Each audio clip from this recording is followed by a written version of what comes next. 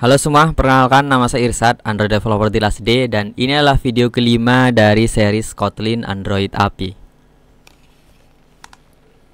Pada video sebelumnya kita sudah uh, berhasil menjalankan aplikasinya walaupun uh, kita masih menampilkan data API-nya via logchat ya.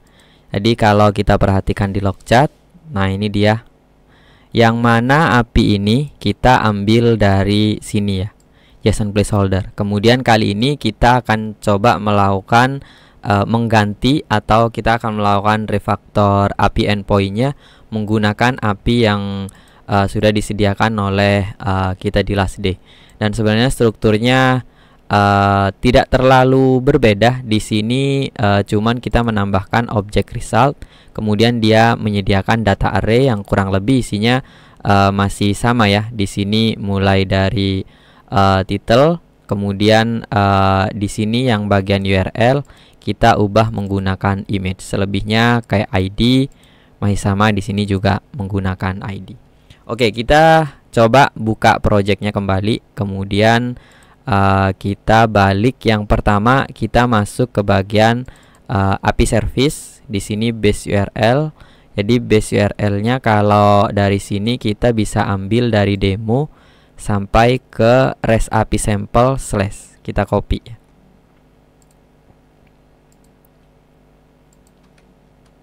Jangan lupa di sini kita gunakan HTTPS, kemudian terakhir di sini uh, kita slash.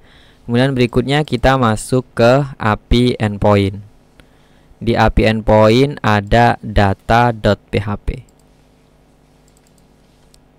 Jadi mungkin di sini lebih bagus uh, kita ubah jadi get data ya. Kita lakukan refactor rename terus kemudian get data. Oke untuk uh, main modelnya kita balik ke main model.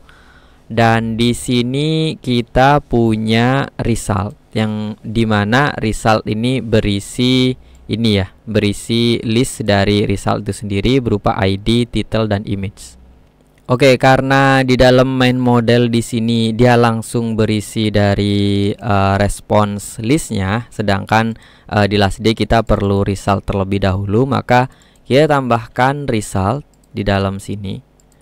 Uh, file result dia berupa release, kemudian isinya adalah result. Kita buat kayak gini ya terus kita tutup kurung di sini terus uh, kita buka kurung dua kemudian kita enter nah di dalam uh, result ini kalau kita simak berisi ID title dan image yang mana kita akan ambil dia dari sini ya Nah, jadi di dalam data class main model kemudian file result release result. Jadi di dalam sini kita buat data class lagi.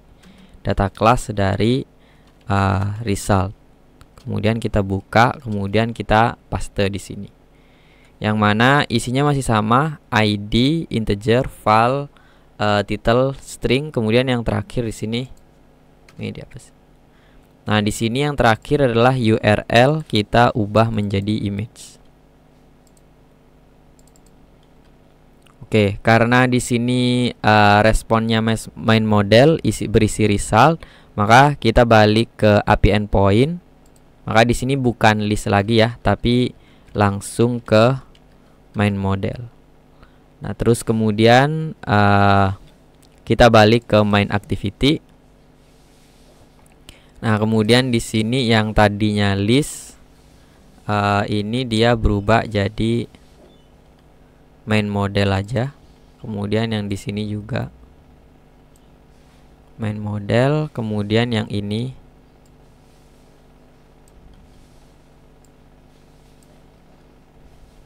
Oke, kemudian uh, yang tadinya uh, show photos uh, mungkin sebaiknya show data. Kemudian uh, yang di sini data diambil dari main model. Nah, jadi di sini uh, show data kemudian uh, response body ini bisa langsung taruh di sini ya yang ini kita hapus Nah, maka di sini kita punya data. Kemudian uh, kita buat file result sama dengan data.result. Nah, maka di sini uh, mungkin pakai S ya, results. Kalau mau dapat data titelnya, maka kita buat di sini result in results. Terus kemudian baru di sini uh, kita coba result. Nah, tetap titel ya. Jadi kita bakal tetap dapat data titelnya. Cuman di sini bedanya kan uh, ada Iron Man, Captain America. Kalau di sini dia mulai dari eh, data-data uh, yang nggak bisa kita baca juga sebenarnya. Oke, kalau sudah coba kita run sekali lagi. Kemudian kita biarkan lognya berupa titel.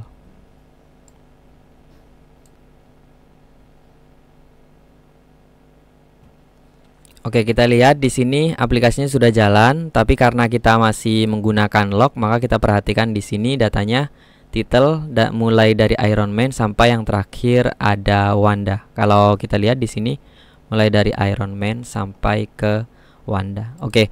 Uh, di video ini kita sudah berhasil melakukan uh, mengganti API endpoint atau melakukan refaktor API endpoint. Kalau teman-teman ada pertanyaan, teman-teman bisa tulis di kolom komentar dan jangan lupa subscribe. Buat teman-teman yang ingin belajar menjadi Android developer menggunakan Kotlin, Flutter, atau Java, teman-teman bisa belajar secara gratis melalui channel YouTube kita, Last Day Indonesia. Jangan lupa subscribe karena kita bakal upload video baru setiap minggu. Dan buat teman-teman yang mau belajar secara step by step membuat aplikasi Android seperti membuat aplikasi kasir, portal berita, video streaming dan masih banyak lagi, teman-teman bisa kunjungi toko video kursus kita di Tokopedia, Bukalapak, Shopee, Last Day Indonesia. Fasilitas yang teman-teman dapatkan ketika join kursus video di Last Day, teman-teman bisa mendapatkan free update konten via Google Drive dan konsultasi melalui grup private Facebook Last Day Developer.